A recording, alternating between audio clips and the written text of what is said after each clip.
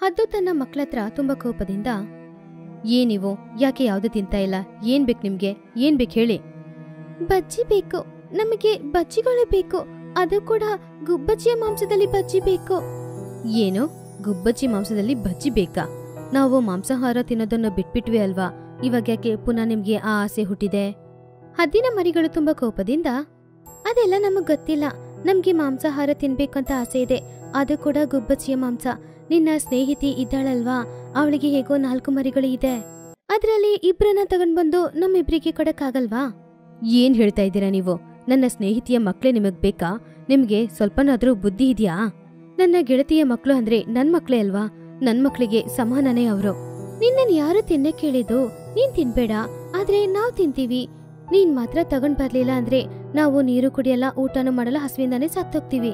ಏನ್ ಮಾತಾಡ್ತಿದ್ದೀರಾ ನೀವು? ಈ ತರ ಒಂದು ಬುದ್ಧಿ ನಿಮ್ಗೆ ಎಲ್ಲಿಂದ ಹುಟ್ಟಿತು? ಅಯ್ಯೋ ದೇವ್ರೆ, ಇವ್ರನ್ನ ಇಟ್ಕೊಂಡು ಇವಾಗ ನಾನು ಏನಪ್ಪ ಮಾಡೋದು? ಹಾಗೆ ಅವ್ರ ಹತ್ರ ಬೇಡಿ ಕೇಳ್ಕೊಳ್ತು. ಆದ್ರೆ ಆ ಹದ್ದಿನ ಮರಿಗಳು ಮಾತ್ರ ಸ್ವಲ್ಪನೂ ಒಪ್ಕೊಳ್ಳಿಲ್ಲ. ನಮಗೆ ಆ ಗುಬ್ಬಚ್ಚಿಯ ಮಾಂಸ ಬೇಕೇ ಬೇಕು ಅಂತ ಇಬ್ರು ಹಠ ಹಿಡಿದ್ರು. ನೀವು ಅತ್ರೂ ಸರಿ. ಇಲ್ಲ, ನೀವು ಏನ್ ಮಾಡ್ಕೊಂಡ್ರು ಸರಿ. ನಾನಂತೂ ಈ ವಿಷಯದಲ್ಲಿ ನಿಮ್ಗೋಸ್ಕರ ಕರ್ಗೋದೇ ಇಲ್ಲ.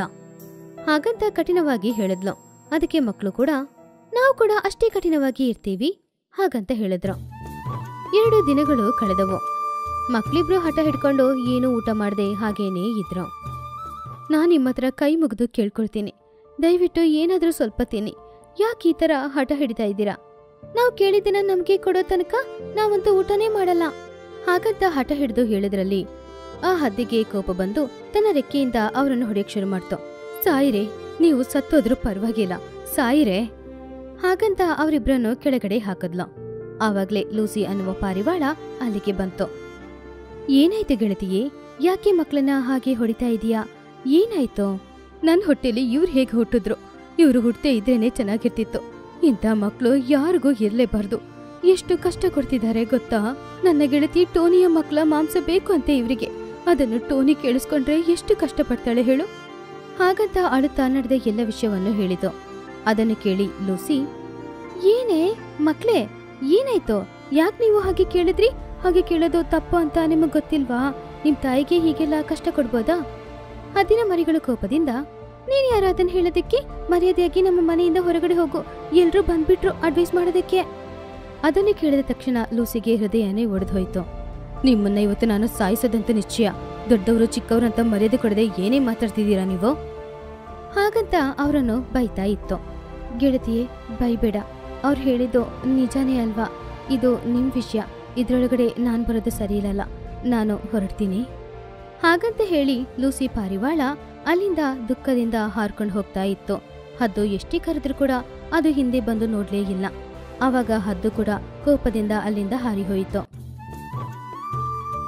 ಆ ಮರುದಿನ ಕೂಡ ಮಕ್ಕಳು ಏನು ತಿನ್ನಲಿಲ್ಲ ಅನ್ನೋದ್ರಿಂದ ಅವರು ತುಂಬಾ ಸುಸ್ತಾಗಿ ಮಲ್ಕೊಂಡಿದ್ರು. ಅದನ್ನು ನೋಡಿ ಬೇರೆ ದಾರಿ ಇಲ್ಲದೆ ಅದು ಗುಬ್ಬಚ್ಚಿ ಮನೆಗೆ ಹೋಯಿತು.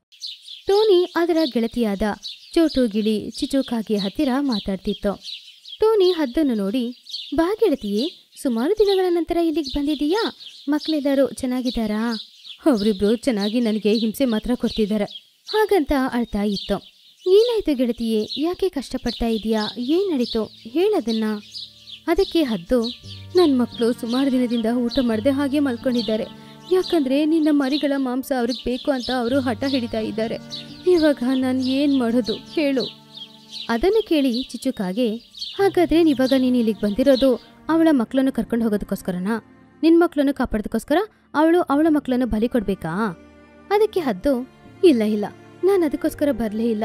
ನನ್ನ ಕಷ್ಟನ ನಿಮ್ಮ ಹತ್ರ ಹೇಳಿದ್ರೆ ಯಾರಾದರೂ ಅದಕ್ಕೆ ಒಂದು ಪರಿಹಾರ ಕೊಡ್ತೀರಲ್ವಾ? ಅದಕ್ಕೋಸ್ಕರನೇ ಬಂದೆ. ಹಠ ಹಿಡಿಯೋರಿಗೆ ಏನು ಪರಿಹಾರ ಇದೆ? ಎರಡು ಸರಿಯಾಗಿ ಬಿಟ್ಟರೆ ಸರಿಯಾಗುತ್ತೆ. ಅದು ಅಳುತ್ತಾ ನಾನು ಅದು ಕೂಡ ಮಾಡಿದ್ದೀನಿ. ಅವರು ಹೀಗೇನೆ ಇದ್ರೆ ಸತ್ತೋಗ್ತಾರೆ ನನ್ನ ಮಕ್ಕಳನ್ನ ಕಾಪಾಡೋದಕ್ಕೆ ಏನಾದರೂ ಒಂದು ದಾರಿ ಇದ್ರೆ ಹೇಳಿ. ಅದಕ್ಕೋಸ್ಕರನೇ ನಿಮ್ಮ ಹತ್ರ ಬಂದಿದ್ದೀನಿ. ನಿನ್ನ ಕಷ್ಟ ಒಬ್ಬರು ತಾಯಿಯಾಗಿ ನನಗೆ ಅರ್ಥ ಆಗ್ತಾ ಇದೆ. ನಿನ್ನ ಮಕ್ಕಳನ್ನು ಕಾಪಾಡೋದಕ್ಕೋಸ್ಕರ ನನ್ನ ಮಕ್ಕಳು ಅವರ ಜೀವವನ್ನು ಬಲಿ ಕೊಡಬೇಕಾಗಿರುತ್ತೆ. ನಾನು ನಿನ್ನ ಗೆಳತಿ. ಗೆಳತಿಯಾಗಿದ್ದು ಈ ಸಹಾಯನೂ ಮಾಡಲ್ವಾ? ನಾನು ಖಂಡಿತ ಮಾಡ್ತೀನಿ. ಮಕ್ಕಳನ್ನ ಕರ್ಕೊಂಡು ಹೋಗು. ನಿನ್ನ ಮಕ್ಕಳಿಗೆ ಕೊಡು. ಹಾಗಂತ ಅಳ್ತಾ ಇತ್ತು. ಆವಾಗ ಹದ್ದು ಅದನ್ನ ಇಟ್ಕೊಂಡು ಅಳುತ್ತಾ, ಇಲ್ಲ ಗೆಳತಿ, ಹಾಗೆ ಹೇಳ್ಬೇಡ. ನಮ್ಮ ಸ್ನೇಹಕ್ಕೆ ಬದಲಾಗಿ ಈ ಮಕ್ಕಳು ನನಗೆ ಬೇಡ. ನನ್ನ ಮಕ್ಕಳು ಹಠ ಹಿಡಿತಾ ಇದ್ದಾರೆ. ಅವ್ರನ್ನ ಹೇಗೆ ಸರಿ ಮಾಡೋದು ಅಂತ ಒಂದೇ ಒಂದು ಉಪಾಯ ಕೊಟ್ರೆ ಅದೇ ನನಗೆ ಸಾಕು. ನಿನ್ ಮಕ್ಳು ಕೂಡ ನನ್ ಮಕ್ಳೇ ಅಲ್ವಾ? ಇದಕ್ಕೆ ಏನಾದ್ರೂ ಉಪಾಯ ಮಾತ್ರ ಇದ್ರೆ ಹೇಳು. ಸಾಕು. ಹಾಗೆ ಅವರಿಬ್ರು ಅಳ್ತಾ ಇರೋದನ್ನ ನೋಡಿ ಚೋಟು ಚಿಚುವಿಗೆ ಏನ್ ಮಾಡ್ಬೇಕು ಅಂತ ಅರ್ಥ ಆಗ್ಲಿಲ್ಲ. ಆವಾಗ ಲೂಸಿ ಪಾರಿವಾಳ ಅಲ್ಲಿಗೆ ಬಂತು. ಅವರೆಲ್ಲರೂ ಲೂಸಿನ ನೋಡಿ, ಬಾ ಗೆಳತಿಯೇ ಹಾಗಂತ ಕರೆದ್ರು. ನನ್ನನ್ನು ಕ್ಷಮಿಸು ಗೆಳತಿಯೇ ನನ್ ಮಗು ಹಾಗೆ ಮಾತಾಡಿರ್ಬಾರ್ದಾಗಿತ್ತು. ಹಾಗಂತ ಕ್ಷಮಾಪಣೆ ಕೇಳಿತು. ಆಮೇಲೆ ನಡಿಬೇಕಾಗಿರೋದು ಏನು ಅನ್ನೋದ್ರ ಬಗ್ಗೆ ಎಲ್ಲರೂ ಮಾತಾಡ್ತಾ ಇದ್ರು. ಆವಾಗ ಲೂಸಿ, ಸರಿ ನೀವೆಲ್ಲರೂ ನಾನು ಹೇಳಿದ ಹಾಗೆ ಮಾಡಿ. ಹಾಗಂತ ಅವ್ರ ಕಿವಿಯಲ್ಲಿ ಏನೋ ಒಂದು ಹೇಳಿತು. ಅದಕ್ಕೆ ಅವರೆಲ್ಲರೂ ಕೂಡ ಸರಿ ಅಂತ ಹೇಳಿದ್ರು. ಅವಾಗ ಹದ್ದು ಸಂತೋಷವಾಗಿ ಮನೆಗೆ ಹೋಗಿ, ನೀವು ಕೇಳಿದ್ದು ನಾನು ತಗೊಂಡ್ ಬಂದಿದ್ದೀನಿ, ಮಕ್ಳೇ. ಹಾಗಂತ ಎಣ್ಣೆ ಇಟ್ಟು ಬಜ್ಜಿಗಳನ್ನ ಹಾಕ್ತಾ ಇತ್ತು. ಅವರಿಬ್ರು ತುಂಬಾ ಸಂತೋಷಪಟ್ರು. ಅಷ್ಟೊಳಗೆ ಗುಬ್ಬಚ್ಚಿ ತನ್ನ ಎರಡು ಮರಿಗಳನ್ನು ಕರ್ಕೊಂಡು ಬಂತು. ಹದ್ದು ಒಂದು ಗುಬ್ಬಚ್ಚಿಯ ಮರಿಯನ್ನು ಹಿಡ್ಕೊಂಡು ಬಜ್ಜಿ ಮಾಡೋ ಹಿಟ್ಟಲ್ಲಿ ಹಾಕಿ ಅದನ್ನು ಎಣ್ಣೆಯಲ್ಲಿ ಹಾಕುವಾಗ, ಗೆಳತಿಯೇ, ನಾವು ಮಾತಾಡ್ಕೊಂಡ್ವಿ ಅಲ್ವಾ? ಅದ್ರ ಬಗ್ಗೆ ನಿನ್ ಮಕ್ಳತ್ರ ಹೇಳಿದೀಯಾ ಇಲ್ವಾ? ಅಯ್ಯೋ, ಆ ವಿಷಯ ಹೇಳೋದಕ್ಕೆ ಮರ್ತೋದೆ. ಏನು ಆ ವಿಷಯ? ಅದು ಏನಂದ್ರೆ, ನೀವು ಹೇಗೆ ಗುಬ್ಬಚ್ಚಿ ಮಾಂಸ ಬೇಕು ಅಂತ ಆಸೆ ಪಟ್ರೋ ಹಾಗೇನೆ ನನ್ನ ಸ್ನೇಹಿತಿ ಇನ್ನೊಂದು ಹದ್ದಿದೆ. ಅದು ಕೂಡ ನಿಮ್ಮನ್ನ ತಿನ್ಬೇಕಂತ ಆಸೆ ಪಡ್ತಿದೆ. ಆದ್ರಿಂದ ನಾವಿಬ್ರು ಮಾತಾಡ್ಕೊಂಡ್ವಿ. ನಾನು ನನ್ನ ಮಕ್ಕಳ ಮಾಂಸನ ಕೊಡ್ತೀನಿ.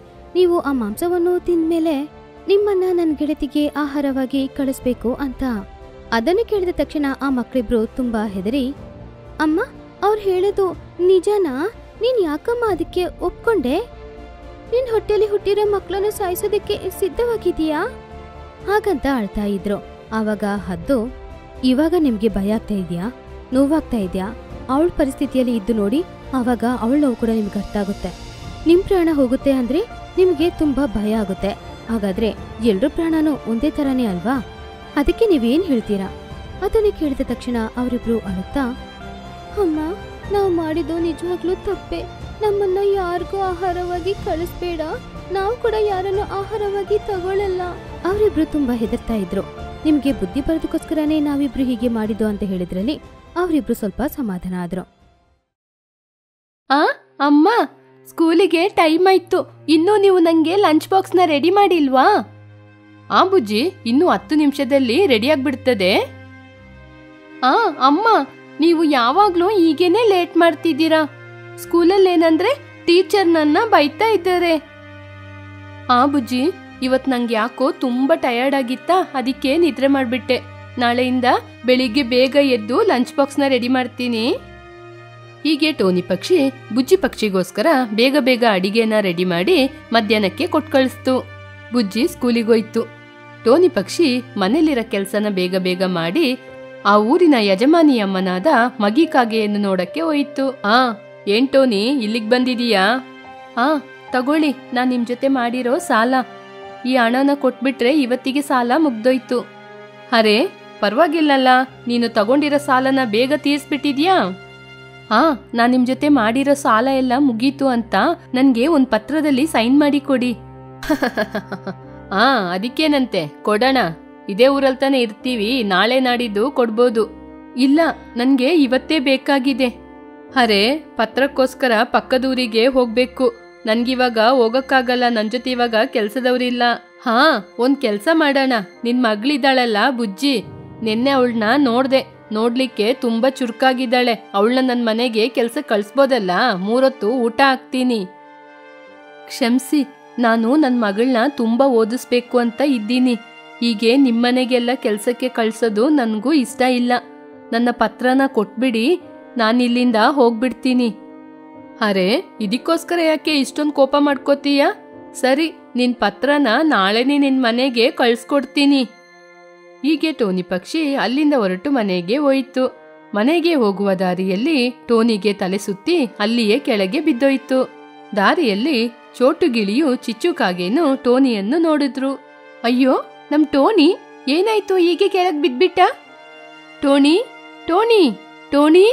ಚೋಟುಗಿಳಿಯು ಚಿಚ್ಚುಕಾಗೆ ಇಬ್ರು ಸೇರಿ ಟೋನಿ ಪಕ್ಷಿಯನ್ನು ಮನೆಗೆ ಕರ್ಕೊಂಡೋದ್ರು.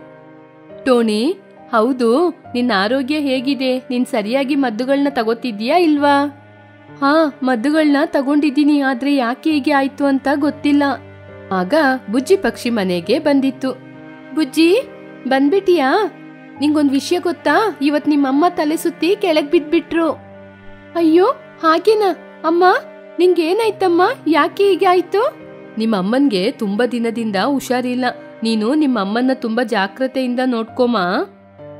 ಹೀಗೆ ಚೋಟು ಗಿಳಿನು ಚಿಚ್ಚುಕಾಗೇನು ಬುಜ್ಜಿ ಜೊತೆ ಎಲ್ಲ ವಿಷಯನ ಹೇಳಿ ಅಲ್ಲಿಂದ ಹೊರಟೋದ್ರು. ಹೀಗೆ ಸ್ವಲ್ಪ ದಿನಗಳು ಕಳೆಯಿತು. ಪಾಪ, ಟೋನಿ ಪಕ್ಷಿನೂ ಜೀವನ ಕಳ್ಕೊತ್ತು. ಚಿಚ್ಚುಕಾಗೇನು, ಚೋಟು ಪಕ್ಷಿನೂ ಎಲ್ಲ ಕಾರ್ಯನ ಮುಗಿಸಿದ್ರು. ಅಮ್ಮ, ನನ್ನ ಬಿಟ್ಬಿಟ್ಟು ಹೋಗ್ಬಿಟ್ರಲ್ಲಮ್ಮ. ಇನ್ನು ಯಾರಮ್ಮ ನನ್ನ ನೋಡ್ಕೋತಾರೆ? ನೀವಿಲ್ದೆ ನಾನು ಹೇಗಮ್ಮ ಇರೋದು? ಹೀಗೆ ಬುಜ್ಜಿ ಪಕ್ಷಿ ಅದರ ಅಮ್ಮನನ್ನು ನೆನೆಸ್ಕೊಂಡು ಅಳ್ತಾ ಇತ್ತು. ಆ ಸಮಯದಲ್ಲಿ ಮಗಿಕಾಗೆ ಅಲ್ಲಿಗೆ ಬಂತು. ಆ, ಅಯ್ಯಯ್ಯೋ, ಟೋನಿ ಪಕ್ಷಿ ತೀರ್ಕೊಂಬಿಟ್ಲಾ ಇದನ್ನ ನನ್ನಿಂದ ನಂಬಲಿಕ್ಕೆ ಆಗ್ತಾ ಇಲ್ಲ.